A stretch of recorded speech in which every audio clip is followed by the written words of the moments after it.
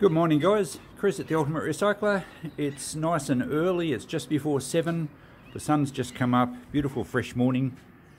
And it's going to be a hot day, it's going to be I think well into the 30s Celsius, I'm not sure what that is in Fahrenheit, probably about 90, 95 or something. Now I'm filming this because I've got a van load of stuff I picked up yesterday. Uh, typical scenario, people rang me, and said we're cleaning up a shed, we're going to take it to the tip. My husband was going to burn all these boxes. Do you want any of them? So as soon as I said we're going to take it to the tip, it's kind of my Achilles heel. It's like, oh no, I've got to try and save it if I can. And it turns out to be some pretty good stuff. So I thought I'd film this just to give you an idea of what we can save, what we can sell, where some value is. Uh, mostly boxes. They're old um, packing crates. I think they are fruit crates. There might be some oil boxes in there. Uh, now, they're a little bit damaged, but they'll sell really well. I can't believe he was going to put them on the fire. Uh, this old rocker at the front here was apparently a restoration project from years ago. It used to be bright green, I think they said. Uh, it's a bit wonky, and they've put uh, modern Phillips head screws in there. But look, it's yeah, it's a bit rough, but it's still very saleable.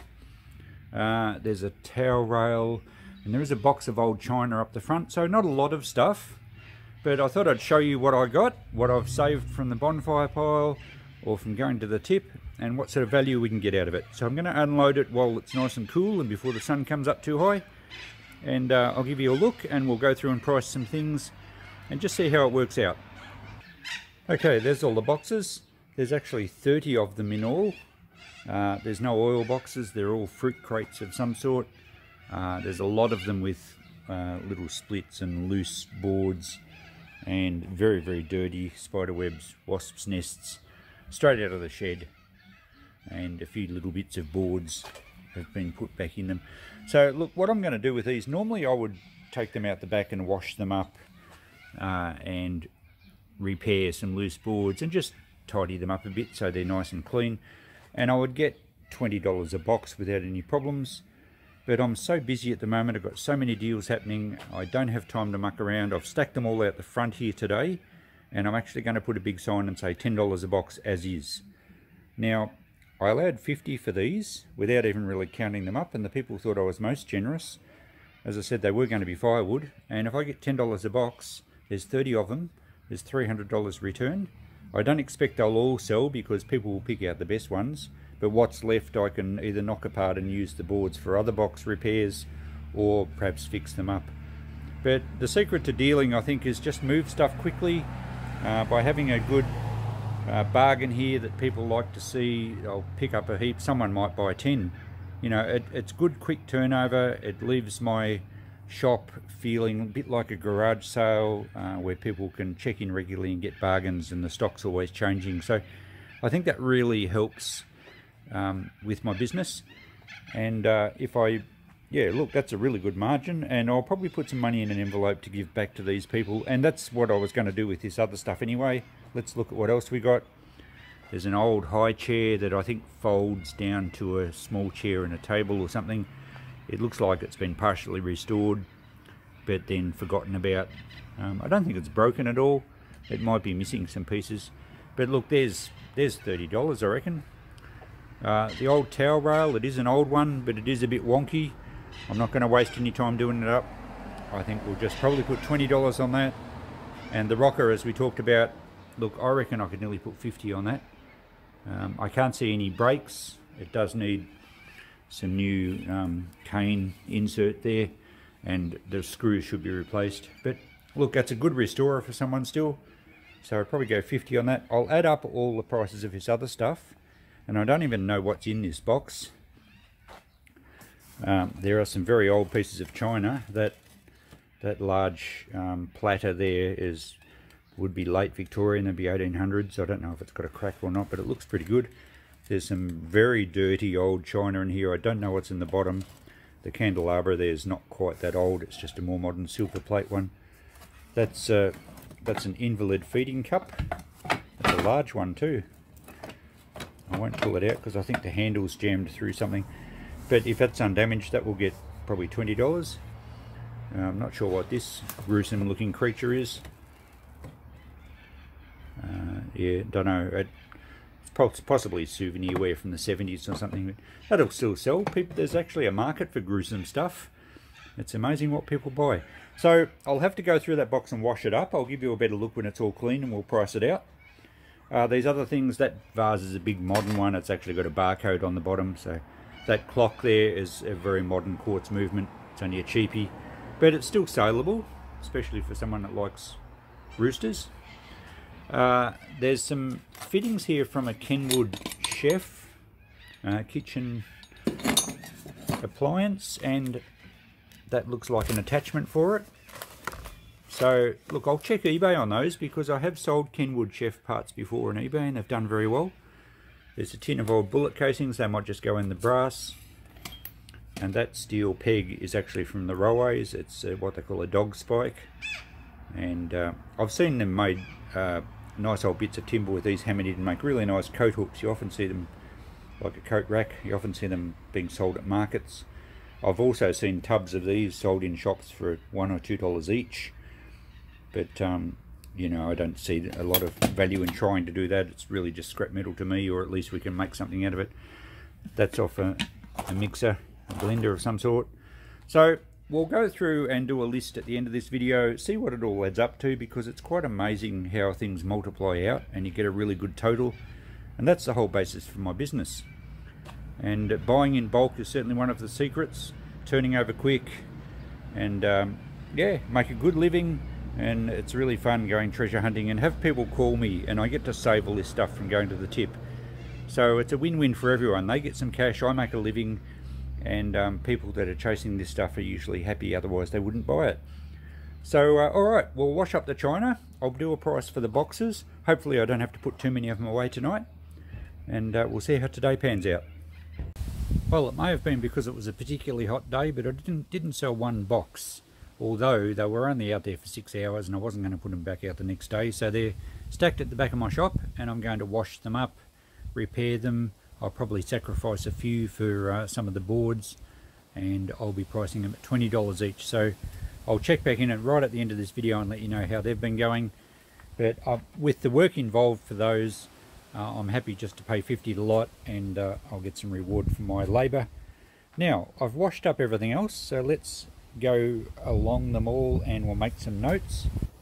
Now, excuse the wind, it's a bit windy out here today and I wanted to get this video done so we'll go for it.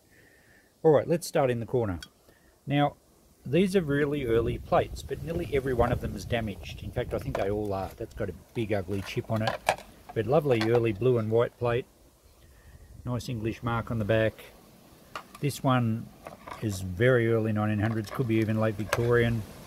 There's a chip on the side there. Another English mark. This one's probably even older. Would say that's Victorian. Meakin. Very stained, lots of chips. Now there's two or three of these ones and they've all got big flaky chips on the side. So it's probably why they ended up in this box and the lady was going to throw them out. Uh, that one, yes, has a chip at the front and this one's badly stained. Not much of a pattern anyway. But look, to me they're not rubbish. Uh, I've sold old china and broken china before to people that do mosaics and they love it. But you know what? Some people look past the fact that it's chipped. And let's be honest, as we all get older, we get nicks and chips and we start to deteriorate.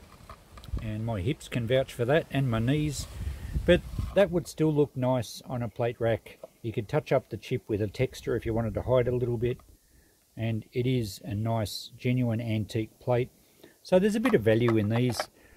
I've got a couple of options. I could sell a lot in one go.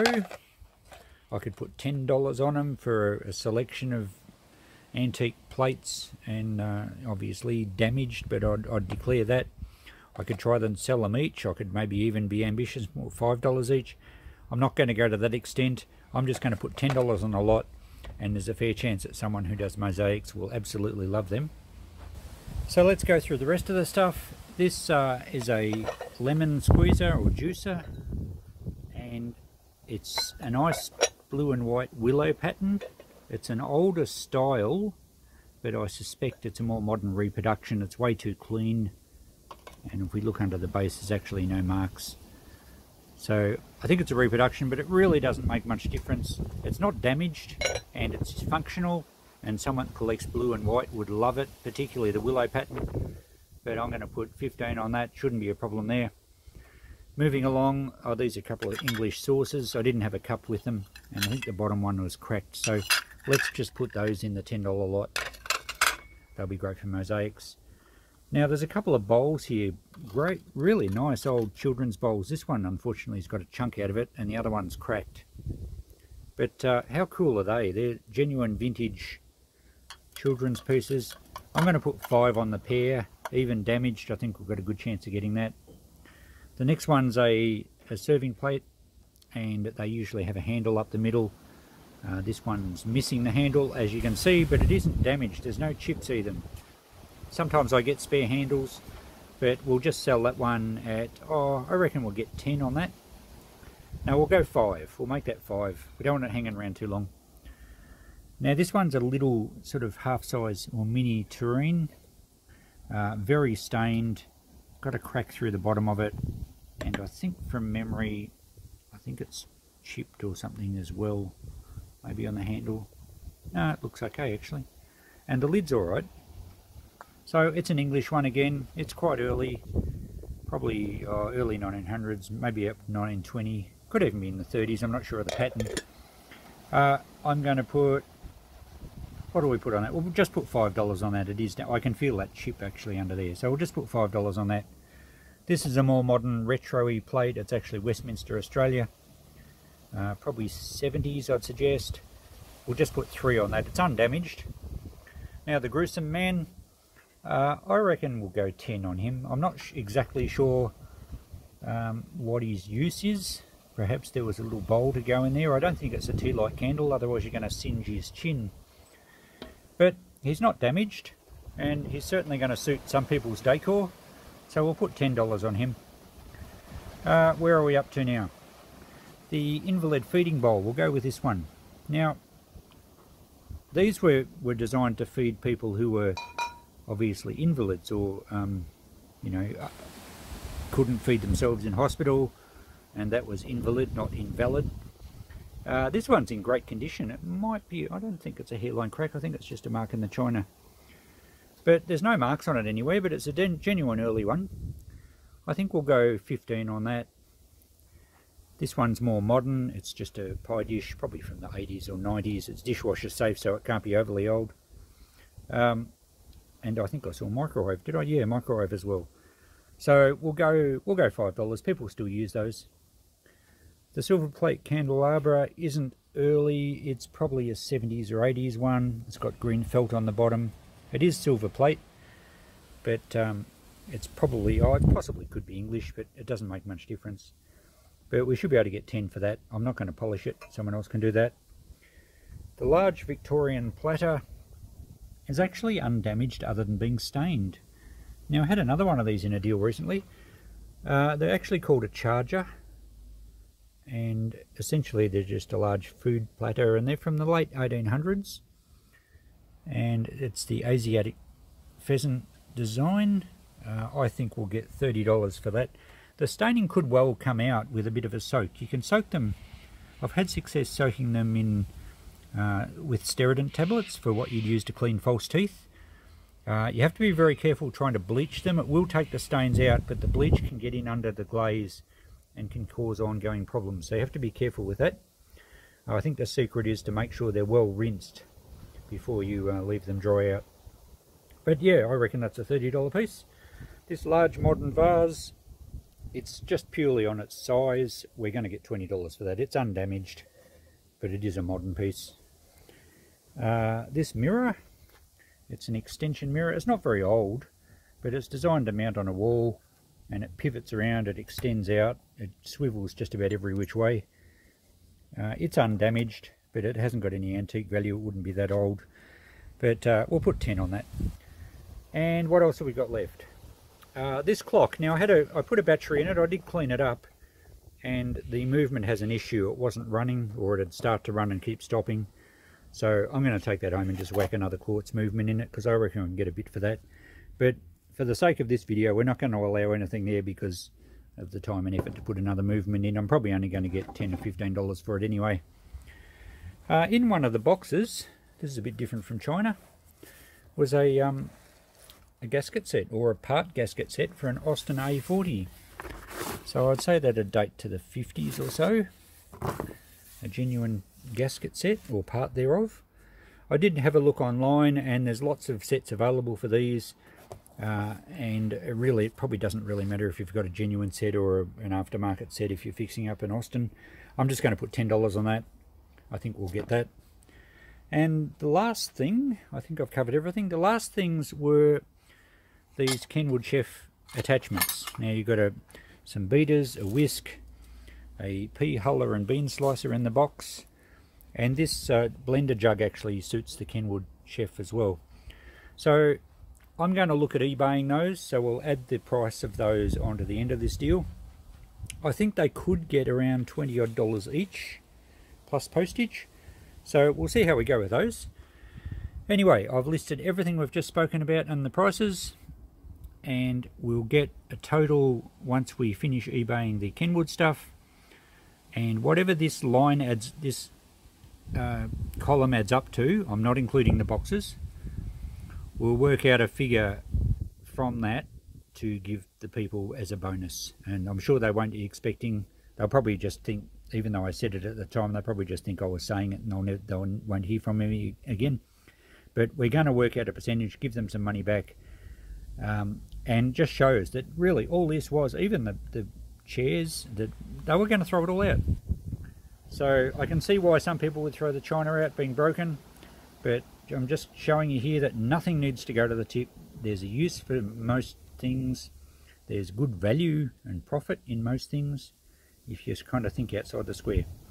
Anyway, I'll get back to you after I've eBayed these things and we'll see how we go there and we'll get a total then. So it's just the next day and I've changed my mind on eBaying these Kenwood Chef items. Uh, mainly because I've just got too much on my plate at the moment. There's so many deals going on and instead of chasing 20 to 25 dollars each on eBay with the time to list them and then there's fees of course I'm just going to ask 10 dollars each on them in the shop. And there's five items there so we're going to add 50 dollars to our list. And when you saw the list last two I'd forgotten to write the gruesome, gruesome man in so added 10 dollars there. So let's get a total on that list of items that was going to landfill. And my retail price added up to just over $300 so it's going to take a little while to get that, but I think it's all priced relatively cheap as far as my shop goes, and I think it will sell fairly quickly. I actually already have sold the rocking chair, um, and, and the English china isn't even in the shop yet. So what I'm going to do, I'm not going to touch the boxes. That I'll treat that as a separate little thing, and just before I finish this video, I will let you know how I've gone. I'll leave it a couple of weeks and see if I've sold any. But what I'm going to do on this 300 dollar value item items, um, I'm going to give the people $100 cash back. Now they're going to be shocked because they thought it was rubbish. Um, I'm three timesing my money. I'm probably a little bit more generous there than I would be normally, but I know I'm going to make quite a lot out of the boxes. So that to me represents good business practice. These people will advertise for me uh, I don't do any traditional advertising with my business. I just let word of mouth happen, and by doing deals like this, it really helps. All right, we'll check in just before we wind things up, maybe in a couple of weeks, see how we've gone with the boxes. Hey, did I say a couple of weeks? I really meant a couple of months, about three months. It's been a while. I'll have to get back and finish this deal, and I've finally found time today to get out in my backyard and wash up the last of these boxes. Now I did sacrifice about three that weren't worth fixing and got some boards off to suit some of the ones that had damaged boards. There's about a dozen here. So that's all finished, got them ready to sell. I had also put, uh, I think there's four or five in the shop at the moment. I did give a couple to my daughter for a garden and I have sold about five. So what was that? That's five, five, that's 12. We've got 12 here, that's 24. I must have sacrificed about six or there's maybe another one in the shop that I can't remember where I put it. But I have sold about five at 20 bucks, so they're going to sell. And now that I've got these out of my yard, much more chance of selling them. So that finishes the deal.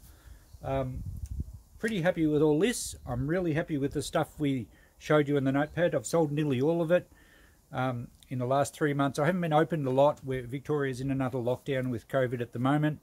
But um, most of the China's gone. There's only a few other bits and pieces left. So another really happy deal. Some happy people. They got their money. They were amazed. Um, I've done really well out of it. And nothing's gone to landfill. So there we go. Another successful story. We'll see you in the next video. Bye.